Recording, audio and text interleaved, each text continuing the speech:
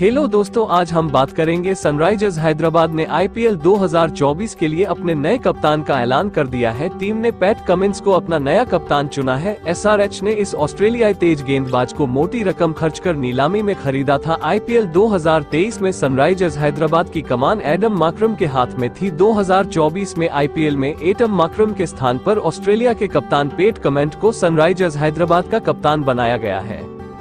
Indian Premier League IPL franchise Sunrisers Hyderabad ने सोमवार 4 मार्च को आगामी आईपीएल 2024 के लिए अपने नए कप्तान का ऐलान कर दिया है।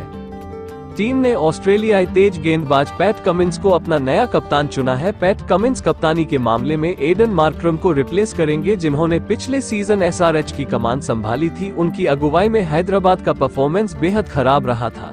टीम 14 में से 10 मैच हारकर पॉइंट्स टेबल में सबसे नीचे दसवें पायदान पर रही थी।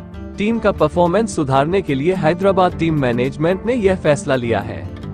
पैट कमिंस पर सनराइजर्स हैदराबाद ने नीलामी में मोटा पैसा खर्च किया था। इस ऑस्ट्रेलियाई तेज गेंदबाज को एसआरएच ने बीस दशमलव पाँच शून्य करोड़ रुपए में अपनी टीम में शामिल किया था। ऐसे में उनका कप्तान बनना स्वाभाविक था।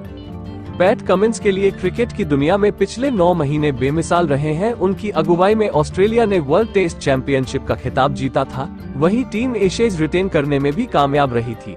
इसके अलावा ऑस्ट्रेलिया 2023 में भारत में हुए वर्ल्ड कप को भी जीतने में सफल रही थी। दोस्तों आईपीएल से जुड़ी खबर पाने के लिए आप ड्रीम 11 क्रिकेट को ज़्यादा से ज़्यादा सब्सक्राइब करें और वीडियो को लाइक करें। धन्यवाद।